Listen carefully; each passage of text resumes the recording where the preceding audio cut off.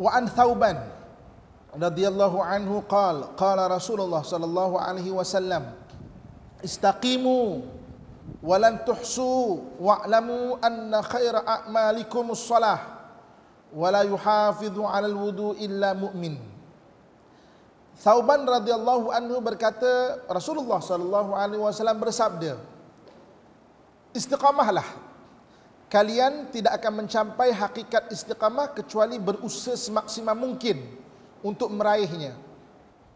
Ketahuilah bahawa sebaik-baik amal kalian adalah solat. Tidak ada orang yang selalu menjaga wuduk kecuali orang yang beriman. Okey. Jadi dalam hadis ini Nabi SAW sebut pertama bab istiqamah. Istaqimu. Beristiqamahlah kamu. Istiqamah ni mana konsisten. Eh? Dan orang yang takkan dapat mencapai hakikat istiqamah kecuali dia berusaha. Jadi bagaimana nak beristiqamah? Istiqamah ni ada tiga rukun dia. Istiqamah ada tiga rukun. Jadi kalau cakap macam mana Ustaz? Saya nak nak konsisten untuk buat nak buat uh, solat ni macam mana ya? Macam mana? Istiqamah ada tiga rukun dia. Yang pertama kena ada niat. Kena ada niat. Sebab itulah kita perlu sentiasa memperbaharui niat kita eh. Uh, selalu baharui niat ya Allah aku nak buat benda baik, ya Allah aku nak buat benda baik. Ya Allah kena jadi si soleha ya Allah. Selalu selalu perbaharui niat sebab niat ni boleh berubah. Uh, selalu memperbaharui niat. Kan? Uh, supaya kita ni sentiasa sentiasa terus ingat ingat ingat ingat. Ya Allah aku jadi suami yang paling soleh ya Allah. Ya Allah aku nak jadi anak yang soleh soleha ya Allah. Kan? Ya Allah aku nak nak, nak ingin nak jadi umat yang soleh soleha. Okey ah. Jadi syarat pertama istiqamah kena ada niat. Yang kedua apa? Yang kedua kena kurangkan pilihan. Sebab manusia kalau banyak pilihan dia akan memilih benda yang paling ringan dalam hidup dia. Kena kurangkan pilihan. Manusia kalau ada pilihan dia akan memilih benda yang paling ringan dalam hidup dia. Kan? Nak sembayang awal atau nak tengok TV. Ada pilihan orang akan pilih tengok TV dulu. Nanti iklan pertama ambil uduk siap-siap, pakai telekung cepat-cepat, duduk balik depan TV. Okey. Iklan kedua baru semangat cepat. Allah iklan kedua. Okey.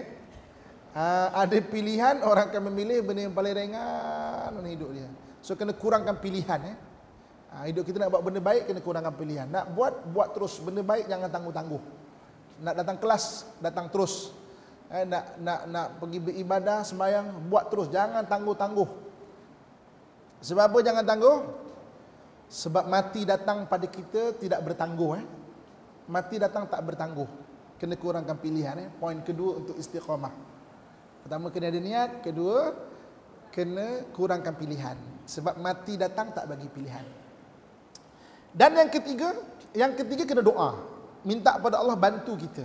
Ha, bantulah Ya Allah tolonglah istiqamahlah. Berilah kekuatan untuk aku. Berilah aku nak nak beristiqamah dalam sembahyang ni Tuhan. Istiqamah dalam buat baik ni Tuhan? Akan ada doa. Jadi selain daripada doa Kita boleh berzikir untuk bantu kan? Saya selalu kongsikan Zikir yang paling ringkas dan bagus sangat. Untuk kalau kita nak ada kekuatan adalah Bacalah la haula wala quwata illa billahil aliyil azim. Eh, maksudnya tiada daya dan tiada kekuatan melainkan daripada Allah Subhanahu wa taala yang maha tinggi dan maha agung. Bacalah haula wala quwata illa billah banyak-banyak. Sebab itu kan kalau azan kita kan sunat tarjih. Tarjih ni maknanya sunat jawab azan. Allahu akbar Allah Sunat jawab Allah Akbar Allah Akbar. Asyhadu an la ilaha illallah sunat jawab asyhadu an la ilaha illallah. Asyhadu anna Muhammadar Rasulullah jawab dia asyhadu anna Muhammadar Rasulullah. Hayya 'ala solah apa jawab dia? La haula wala quwata illa billah. Kalau kita jawab kita diberi kekuatan untuk sembahyang. Kan? Hayya 'alal falah jawapannya la haula wala quwata illa billah. Ha, jadi kalau kita hari ni Ah, pernah tak mampu, berat hati nak buat satu benda, ucap zikir banyak-banyak la haula wala quwata illa billah. Ni benda ni ajar pada anak kita eh.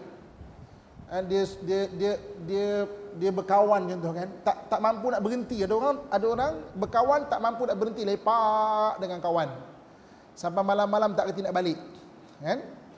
ajar dia untuk baca la haula wala quwata illa billah banyak-banyak.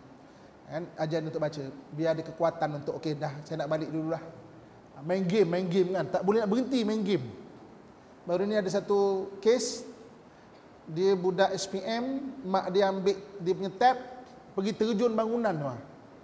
Ha? maknanya nak tunjukkan apa nama? Nak tunjukkan dia punya protes dia. Nasib baik bomba orang dah telefon bomba bomba datang dah pasang belon bawah tu ah. Oh terjun bangunan sebab ada belon tu ah. Hanya kerana tap. Kan? Patutnya bomba tu tak usah pam banyak-banyak kan, depan sikit-sikit. Ups, rosaklah sebabnya biar rasa sikit. rasa sikit. Ha, taklah macam tu. Tapi maknanya mak ambil untuk kebaikan. Dia tak ada dia tak ada kekuatan nak berhenti main game tu. Ajarkan ajarkan doa tu. La haula wala quwata illa billah banyak-banyak biar ada stop, biar ada kekuatan hati. Okey. Jadi itu tiga syarat untuk beristiqamah. Jadi Nabi sebut beristiqamahlah kamu dan kamu takkan dapat kecuali kamu berusaha semaksimal mungkin untuk meraihnya. Maksudnya apa? Tiga rukun tu. Sentiasa baru niat, kena kurangkan pilihan dan juga kena uh, kena doa minta kepada Allah untuk Allah bagi kekuatan. Dan Nabi sebut sebaik-baik ibadah adalah sembahyang dan tidaklah orang tu menjaga wuduk kecuali orang tu beriman maknanya dia ada kepercayaan kepada Allah Subhanahu wa taala